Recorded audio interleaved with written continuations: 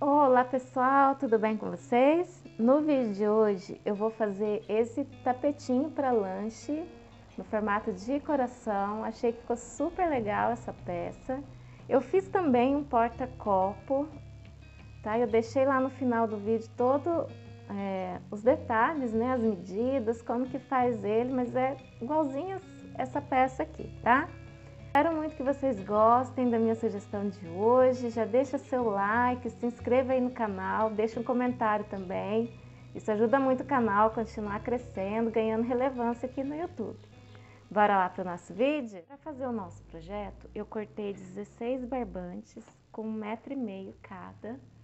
Esse barbante que eu estou usando aqui é o número 24 e essa cor é o mostarda é, da Euro Roma, tá?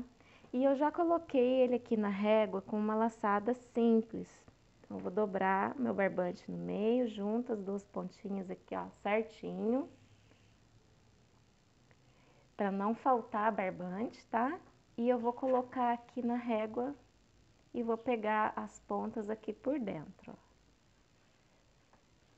Tá? Então, eu coloquei todos os meus barbantes aqui dessa forma. Vou pular quatro barbantes e vou fazer o meu primeiro nó quadrado, deixando ó, uns três dedos de distância ali da régua.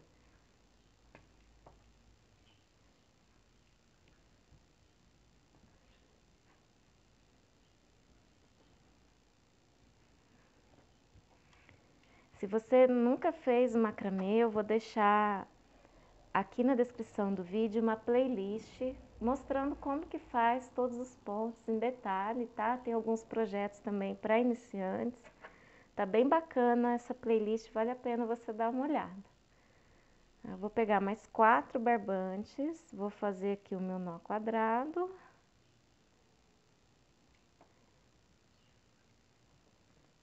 Vou deixar ele na mesma altura desse daqui.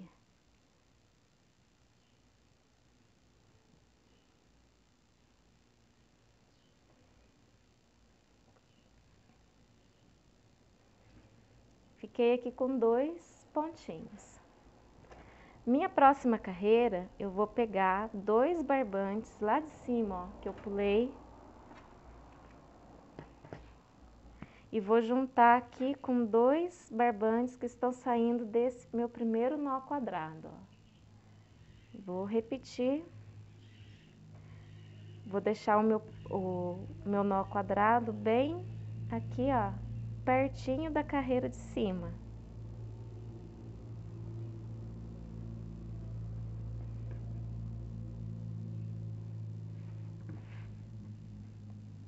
vou soltar esses quatro barbantes, vou pegar mais quatro, né? E vão ser dois desse nó e dois desse nó aqui.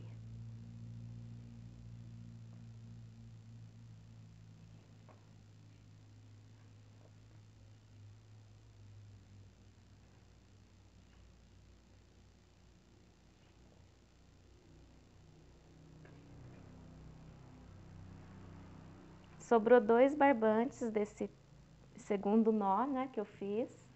Eu vou juntar com mais dois lá de cima e vou fazer o meu terceiro nozinho quadrado aqui da carreira, ó.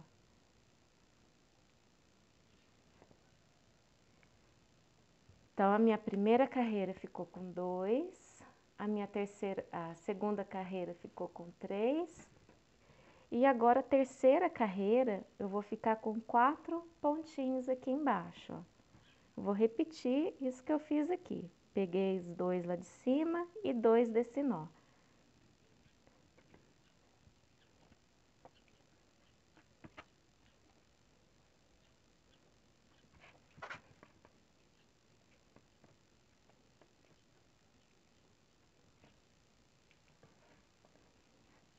Finalizar aqui o meu último ponto da carreira.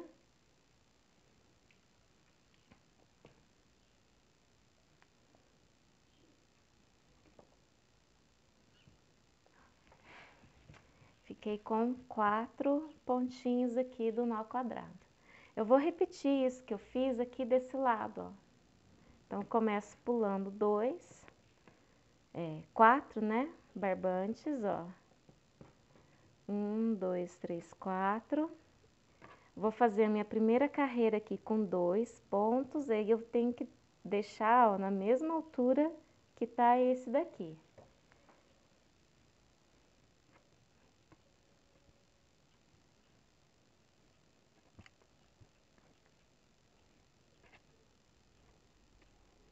Lá, minha primeira carreira com dois. Vou fazer agora a minha segunda carreira com três.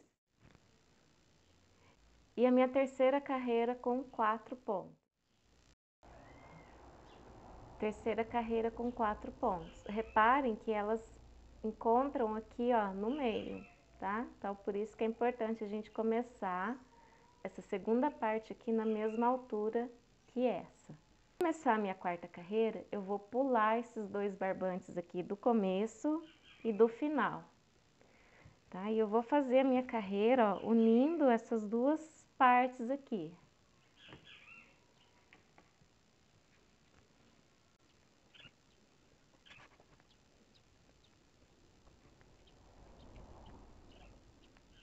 Cheguei aqui no meio, ó, vai sobrar dois barbantes desse último ponto, dessa lateral aqui, e eu vou pegar dois barbantes do primeiro ponto dessa lateral.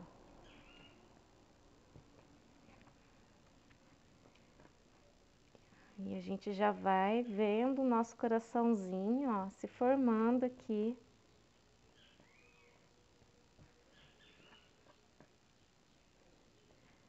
Ó, aquela parte, né, gordinha aqui do coração.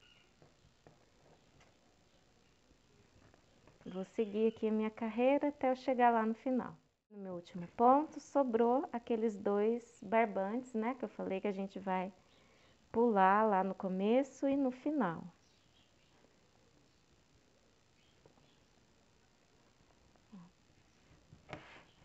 Minha próxima carreira, eu vou começar pegando esses dois barbantes que eu pulei, tá? Para deixar o coraçãozinho arredondado aqui na, na lateral. Então, vou pegar esses dois com dois desse ponto aqui de baixo, ó. Na hora de, de fazer esse ponto, eu vejo muita gente fechando o ponto assim, ó, para lateral. E assim não, não tá certo, né? A gente tem que deixar ele reto para ele fazer a carreira, uma carreira embaixo da outra, tá? Então vai sobrar esse espaço aqui, não tem problema. Depois a gente vai resolver ele na hora de fazer o contorno de festanê.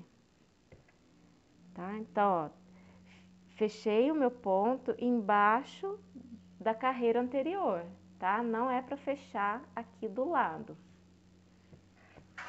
Vou seguir até aqui no final. Vou pegar os dois barbantes que tá sobrando dessa carreira e vou juntar com os dois lá de cima que eu tinha pulado, ó. E agora a gente tem que deixar esse espaço aqui mais ou menos da mesma distância que deixou esse.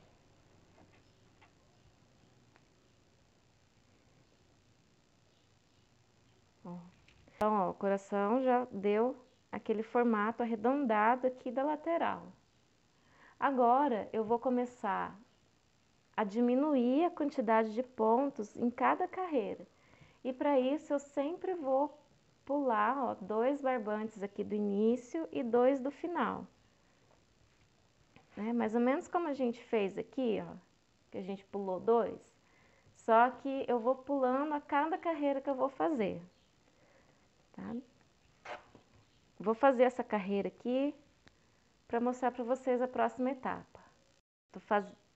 Fazendo aqui o último ponto dessa carreira, né? Os dois que sobrou, ó, tá aqui para cima, do, do começo e do final. Deixa eu só finalizar esse ponto aqui.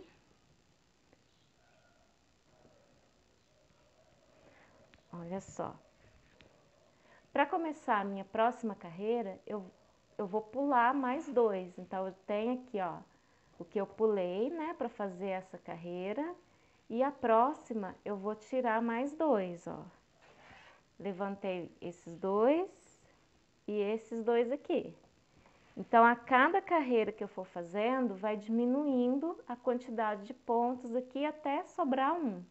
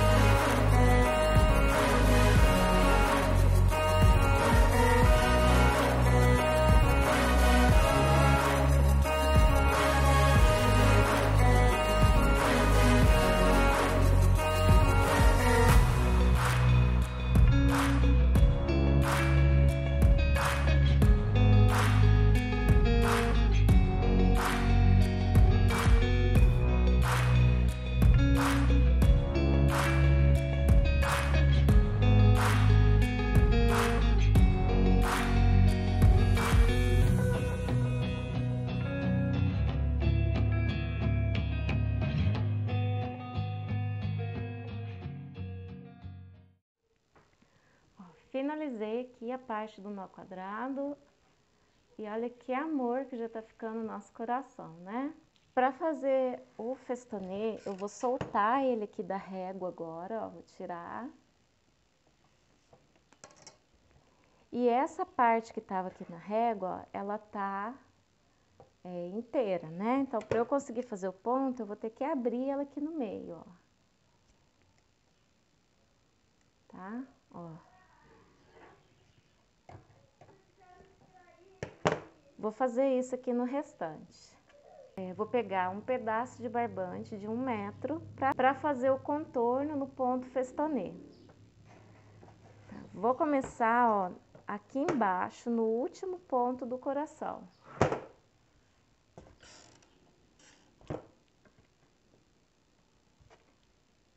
Eu vou dividir, ó, se a gente olhar esse último ponto, tá saindo quatro barbantes dele, tá? Então, eu vou dividir dois para cada lado.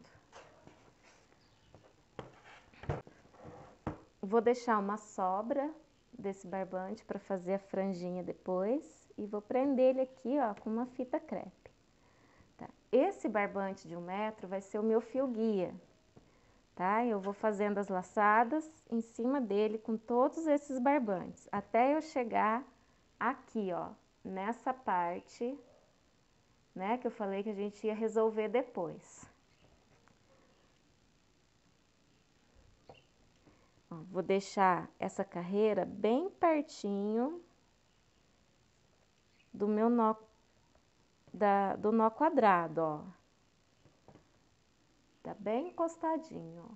Então, quanto mais perto eu segurar o guia aqui dos meus pontos, mais juntinho vai ficar o festonê do nó quadrado. Se eu segurar o meu fio guia aqui para baixo, ó, o meu ponto festonê vem vindo aqui para baixo e vai ficar todo esse espaço aqui entre o festonê e o nó quadrado, tá? Então, vai segurando ele bem pertinho do coração. Repare que na hora que eu estou fechando o ponto, ó, eu até seguro ele passando em cima do trabalho, ó. Para não ter perigo de ficar espaço aqui entre os pontos. Porque não é essa a intenção, né? Eu quero que faça o contorno certinho aqui da peça.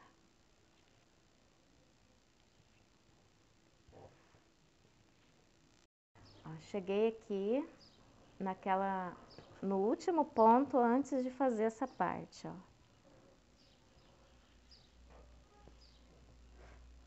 Se eu simplesmente seguir aqui fazendo o vai ficar esse espaço aberto. Então, o que, que eu vou fazer? Vou pegar um pedacinho de barbante de 30 centímetros, deixa eu cortar aqui.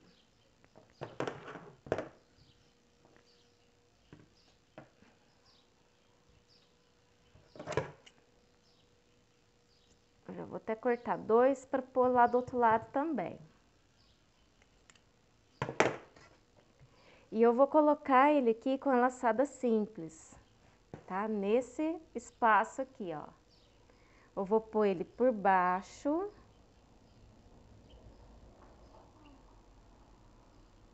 E pegar aqui por dentro. Assim eu consigo completar esse espaço para continuar fazendo o meu ponto festonê até eu chegar aqui no meio, ó.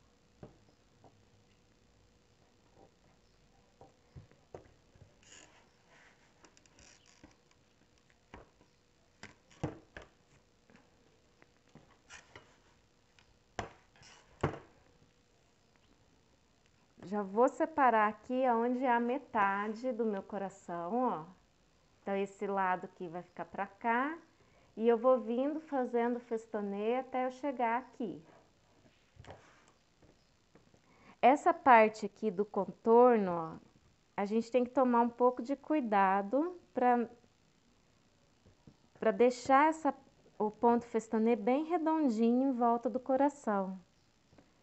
Tá? Toma cuidado para na hora de fazer o ponto aqui, ó, você não puxar ele aqui dentro, ó, dentro aqui do nó, tá? faz ele passar mais por cima do ponto, ó. Vai ajustando, vai fazendo essa parte aqui bem devagarzinho, para deixar bem redondinho.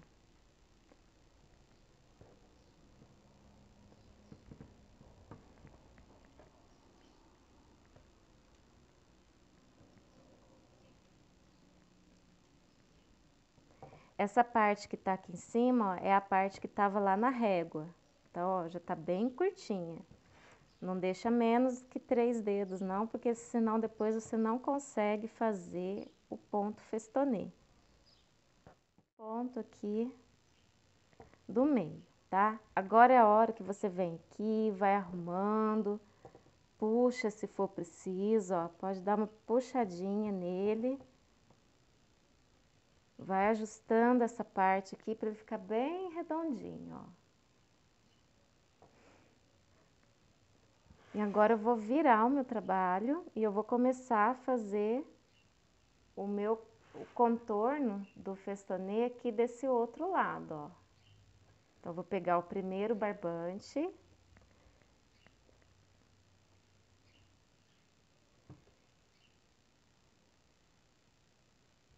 Vou ajustar aqui esse meio e vou seguir repetindo o que eu fiz aqui.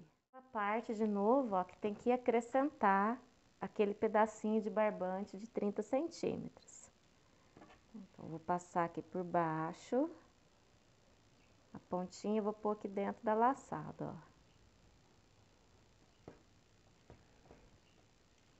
E agora eu vou seguir até eu encontrar aqui o início do ponto, aqui ó, o início do ponto festonê. No final, né, eu vou fazer o último ponto para fechar essa parte aqui. Então, eu tô com barbante do início e do final. Aí, eu vou escolher um lado, né, para poder fechar. Tanto faz eu fechar o ponto com o lado direito em cima aqui do lado esquerdo ou ao contrário, ó, fazer o lado esquerdo em cima do direito, tá? Você decide aí o que, que você acha que vai ficar melhor na sua peça.